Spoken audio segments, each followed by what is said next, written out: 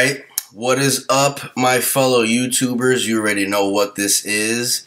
I have the keynote uh, synced up right here. I'm going to watch the whole entire keynote. And I'm going to let you know what I think as I'm watching it. So, no, we're not going to be here for two hours. You guys are probably going to be here for like 20 and just see my reactions. Okay, so it's 94 minutes. Yeah, so it's like an hour and a half. All right, here we go. Here we go. By the way, while this gets started, I have my tea right here that I will be sipping on. I see a lot of Chinese people with iPads and iPhones. What you just saw on that video was the opening of our latest store in Westlake, China. Okay. It's in Hangzhou, China. It is an incredible place and it's a gorgeous new design. The architecture is amazing with a cantilevered second floor. It's absolutely breathtaking. Cool store. We love HBO. Over the years, they have created groundbreaking shows that have really become, and of course, Sex and the City. Why does he talk like that? And coming next, Oh my god. Eight minutes in and they're still talking about HBO.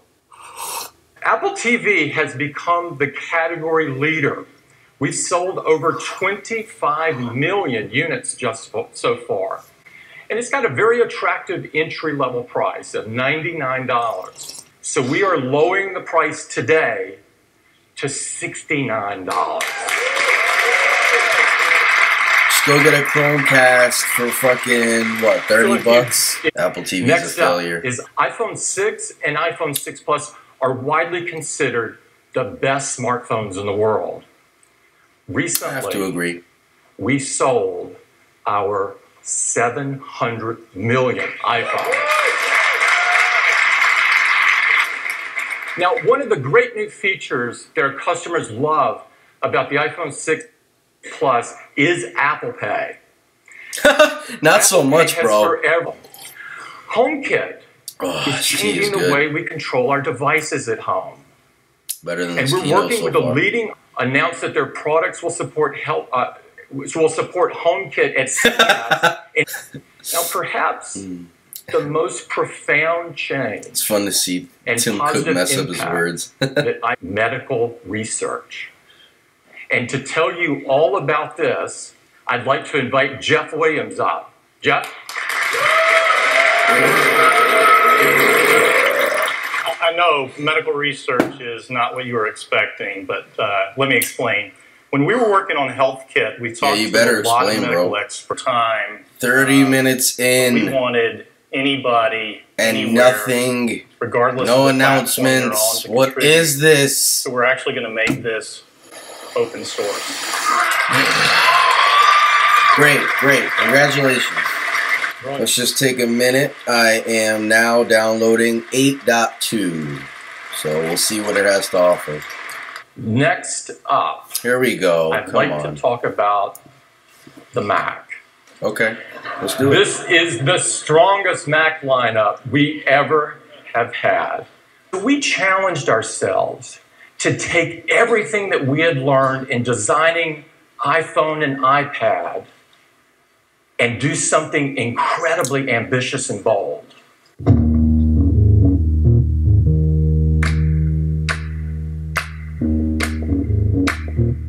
What is this? What is this? Whoa. Is that a attachable screen? What is it? What is it? Yo, that that better not be it.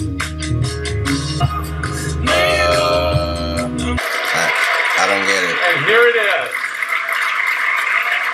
Can you even see it? I can't even feel Yeah, it. I can see it. There it goes. I'd like. I'd like Aw, to invite man, Phil are you Schiller fucking kidding me? all about it. Why? Oh, Apple. Oh, Apple. Oh, Don't get me morning, wrong, it looks everyone. Cool. I I'm so guess. excited to tell you all about this incredible new MacBook. The new MacBook weighs just two pounds. Yes. Two pounds, dude. Really? This Uh, is the my surface- we have ever made. My surface is not And even even at two its pounds. thickest point, it's just it's 24% thinner. What are they doing? How much is it? That's what I want to know. A beautiful keyboard. So the team know how much how it is. Oh, current keyboard was great. Oh, But butterfly now mechanism. new. Our team it is 40% thinner, allowing us to make a thinner keyboard. And we also made the keycap larger, making it even easier to strike and get a beautiful typing experience. So this is a slow motion video of typing on the new keyboard on the new MacBook. The keys are much more precise, Absolutely no much more travel. accurate, even if you strike them on the side. There's no travel at all. It is a beautiful Are you, keyboard. are you kidding even me? in the dark. 40 pixels. Why not just a Retina math, MacBook that's just over Air? 3.3. This is the thinnest display we've ever built into a Mac. And Congratulations, those man. pixels have a larger aperture. Why don't you get thinner? Fucking Phil What's that about? Schiller. Well, I can't even really be talking, but you're red, fucking green, and fat. So the same Each level of picture. brightness. The technology behind this is a brand new standard called USB-C. It's not standard yet. With a number of other companies have all worked Fuck. together to create this new industry standard, and you're going to see it appear in more products. Everybody's just getting around to USB here. 3, USB. Ah! Here's the comes in silver, space gray, and a stunning gold.